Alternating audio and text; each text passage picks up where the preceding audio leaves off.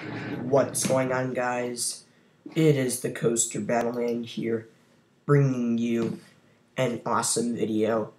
What if Kings Island was closed in 2017? Where would their roller coasters go? Now, I've been doing this What If series for a while, but Kings Island is quite a different park because they actually have some of the biggest and baddest Cedar Fair coasters. Not like bad rides, but some of the best. So it is tough to find out where these really, really good coasters would be relocated to if they were wanted to be solid rides at other parks. Let's talk about Diamondback and Banshee.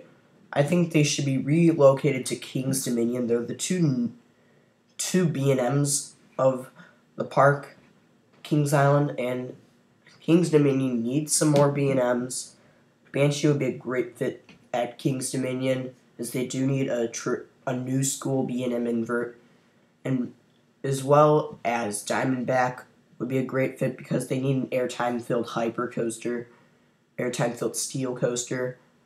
Plus, both these coasters are very smooth, which is another reason why they should both be relocated to King's Dominion.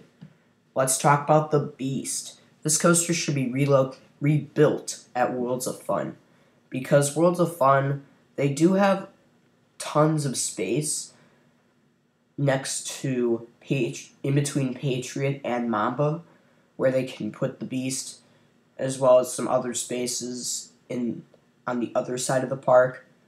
So I think the beast has a chance of being rebuilt here at Worlds of Fun due to the amount of land they have.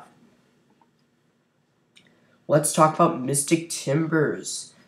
I think they will be rebuilt at it will be rebuilt at Dorney Park because Dorney Park they desperately need a new coaster and a GCI would be a great fit there.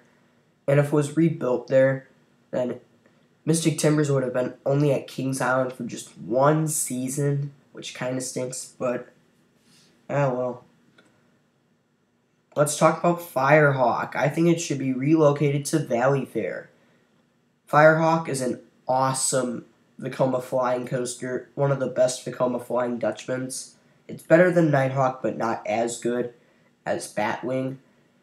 But personally, from my experience, it was a very fun coaster, and I really enjoyed the ride's elements, and it was just a solid coaster.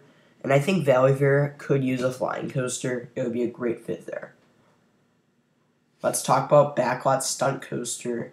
I think it should be relocate to Michigan's Adventure as well as Invertigo because Michigan's Adventure desperately needs a launch coaster, and I think Backlot Stunt Coaster would be a great fit there.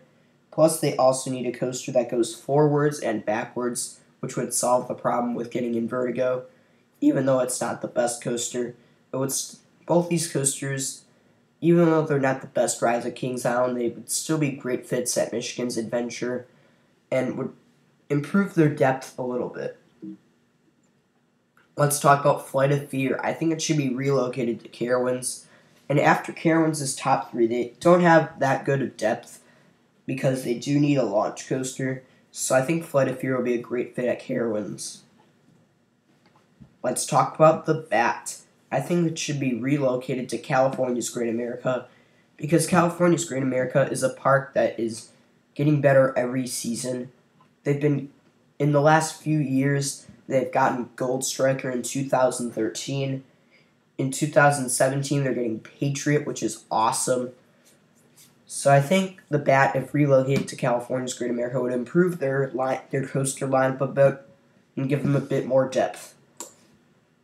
But unfortunately, there's two solid roller coasters that will be torn down: Racer and Vortex, and any other coasters that are smaller and no one really wants should just be torn down completely. But overall, I think this would be a cool, this would be a solid fit for, yeah.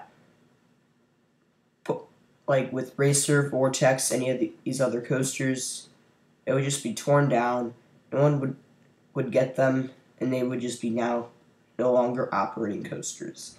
Thank you for watching. Stay tuned for more videos. And I'm making a crazy what if video about Cedar Point, so stay tuned for that.